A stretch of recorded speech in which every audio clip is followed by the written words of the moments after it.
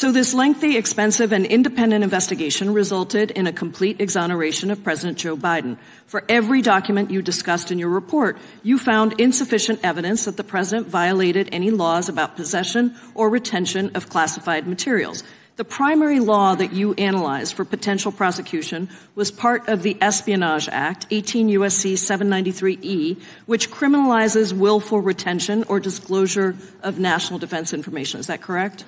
Congresswoman, that is one statute that we analyzed. I need to um, go back and, and, make sure that I take take note of the word that you used, uh, exoneration. That Mr. is not a word that I'm going to continue with my questions.